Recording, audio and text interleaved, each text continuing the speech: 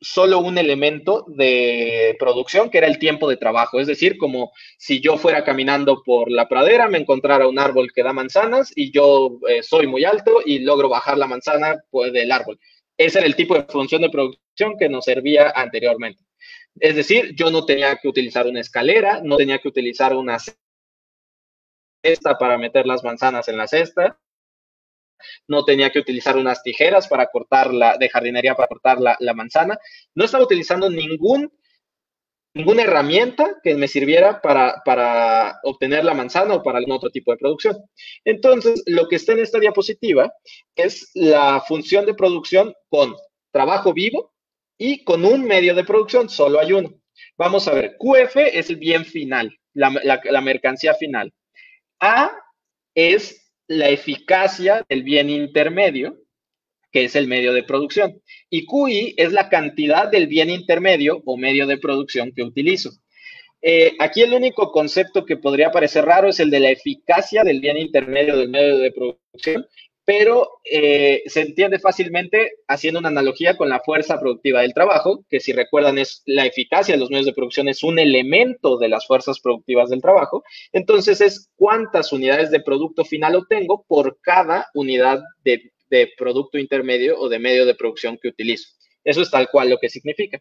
Y esto ya nos da una intuición de que la función de producción se puede ir haciendo cada vez más compleja y se pueden ir desglosando o separando los elementos de las fuerzas productivas sociales en otros que vayan interactuando con aquellos elementos de la producción que les corresponda.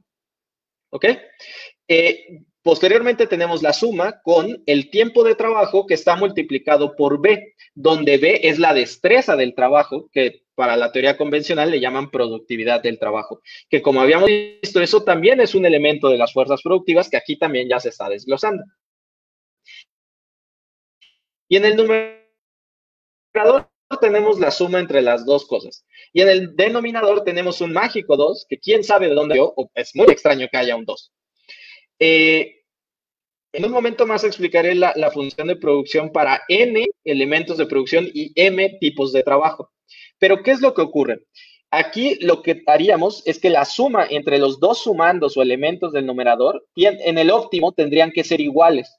Entonces, al sumarse, pues sería dos veces la misma cosa. Y al dividirse entre dos, se cancela.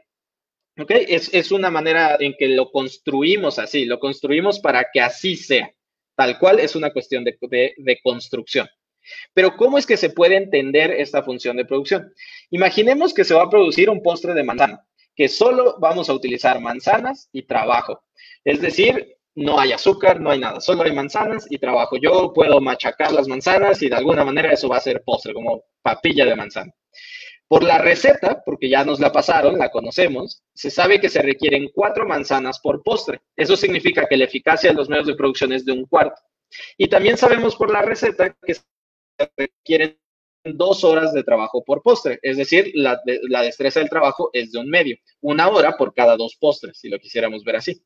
Entonces, si quisiéramos producir 10 postres, se requieren 40 manzanas y 20 horas de trabajo. En la parte de abajo, si ustedes sustituyen en la función de producción de arriba los valores que se acaban de dar, un cuarto por 40, que eso nos da 10, más un medio por 20, que también nos da 10, sumamos 10 más 10, que es 20, entre 2 es 10, los 10 postres que queríamos producir.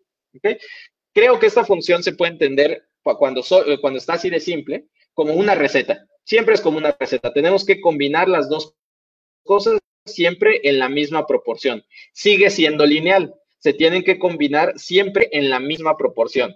Si ustedes están familiarizados con las funciones de producción Leontiev eh, o de mm, bienes complementarios, también le llaman a veces, ustedes las ven como en forma de L y lo que hacen es eh, graficar una línea o un rayo que parte del origen y siempre las L's van siguiendo esa línea porque se tiene que hacer en la misma proporción. Eh, siempre se tienen que combinar de la misma forma.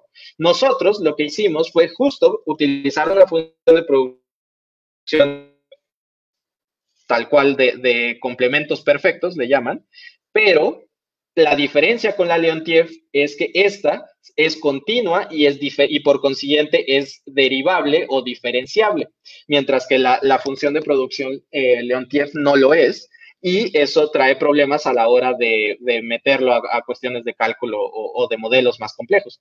Esto es algo que nosotros, eh, pues ahora sí que se, nos ocurrió para eh, transmitir a lo que se refiere Marx eh, y que además es útil porque tiene varias propiedades matemáticas que son muy ventajosas.